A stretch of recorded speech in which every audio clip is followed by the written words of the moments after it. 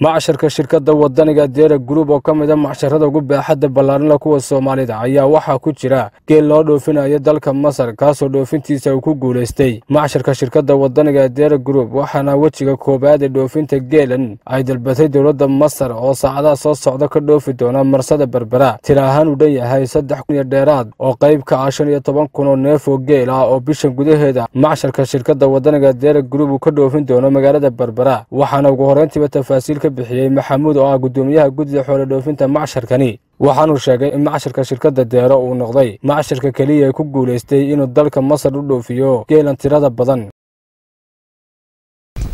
Anigoo ah guddoomiyaha guddida xoolo dhoofinta ee maxjarkan maxjar sixa alwadani ama loo yaqaano maxjarka ilmaindha deero. Waxaan halkan dadweynaha la wadaagayaa maanta ilaahay mahaddii geelan aynu arkayna aynu dhex taagannahay. Waa shixnaddii u horraysay ee tan iyo laba kun iyo lix iyo tobankii intii ka dambaysay u baxda dalka masar. Waa tiroo dhan saddex kun iyo saddex boqol halkani. Waxaana laga yaabaa bishan gudaheeda ugu yaraan inaynu ilaa shan iyo toban kun oo geela u rarno dalka masar. Waa fursad muddo dheer inaga yaro maqnayd oo suuqaa weyn ee dalka masar ee geeleenu tegi jiray inaga xanibnaa.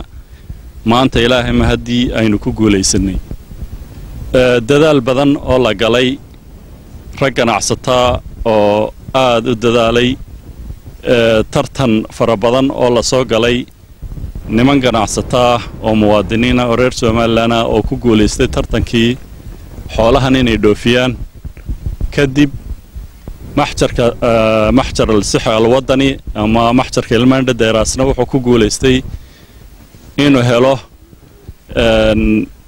u raridda ama adeegga maxjarnimo inuu asagu qaabilo oo u raro maxjarka keliya u raraya uu yahay dalka masar xoolahan.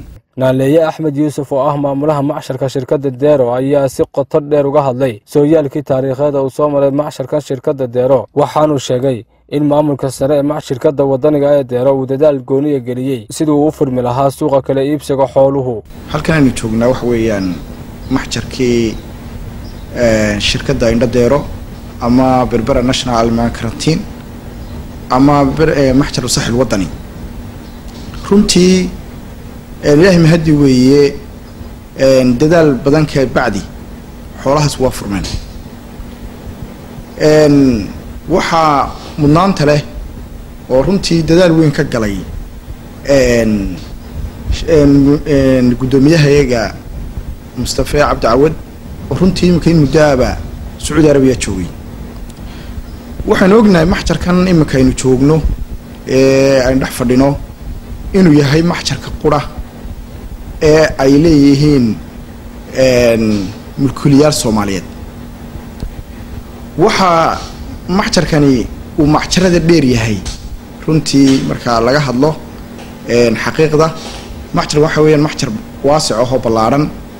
Waynu soo aragnay hadday noqoto xeryaha geela hadday noqoto xeryaha looda hadday noqoto xeryaha adhiga baaxadda intaa leegoo ku fadhiyo waad arkayseen inta uu leegyahay waa maxjarka qura ee runtii qaada hal mar uu ka dhoofaan laba boqol iyo siddeetan kun oo neef oo adhi iyo shan iyo toban kun oo geeli hal mar ay ka wada dhoofi karaan. Iyo toban kun oo dibi. Waktigii ay xidhnaayeen xoolaha sacuudi arabiya waxaa la soo diray wafdi badan oo iska soo daba dhacaysay oo uu sacuudigu soo diray.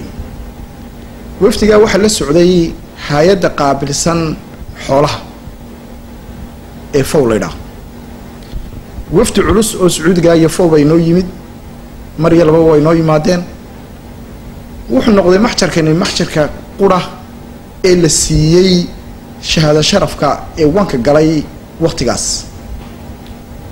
dadka oo dhan way ka warhayaan waana ogyiin maxjarkani wuxuu soo maray waayo badan ma aha maxjar si kooban u dhisan. Ma aha maxjar meel qoobada ku jira waxa weeyaan maxjar ay u dhammaystiran yihiin dhammaan agabkiisii maxjarnimo oo dhani. Waxaana iskale maxjarkan oo mulkiilo ka ah shirkadda indhadeero ama indhadeero group hadda waxaa ku jira oo iminka la diyaarinaya oo hadda diyaar naga ah. Xoolaha geel masar iminka u baxaya oo caawa dhoofaya. Waa saddex kun iyo lix boqol oo awr weeye intaas iminka waa diyaar way ku jirtaa waana markii labaad ee ay ka dhoofaan geela masar uu ka dhoofo ama xoolaha masar ka dhoofaan maxjarkan